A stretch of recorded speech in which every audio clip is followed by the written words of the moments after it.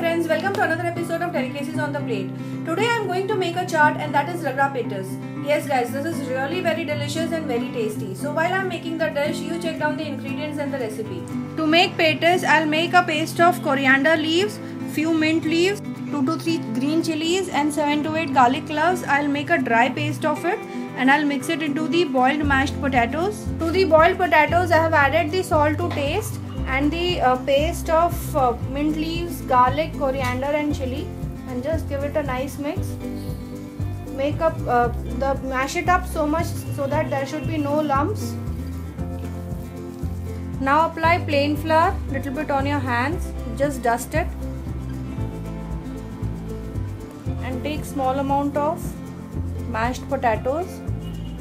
Just roll it in between your hands. This will help the potatoes to get fried well on the pan or also it will not it will not stick to the pan.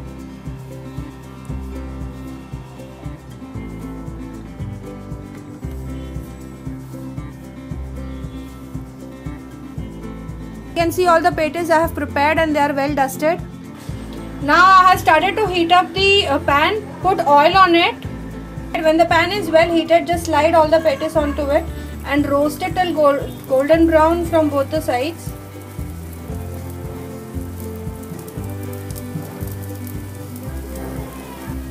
Roast it on a medium heat so that it gets evenly cooked. When it starts to turn golden brown color, just turn it over.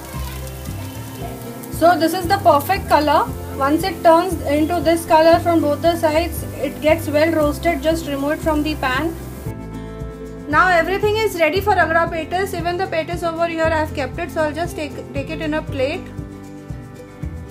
Put ragda on it.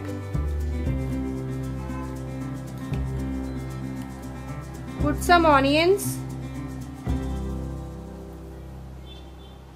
Some tomatoes. Put some red chutney. Some green chutney. Depending on how spicy you want it, want it then add the chutney.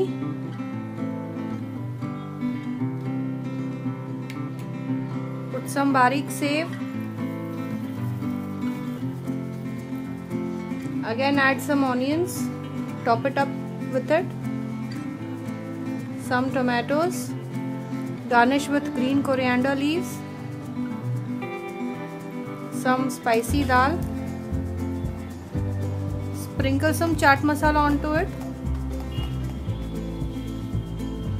and the ragda patties is ready to serve.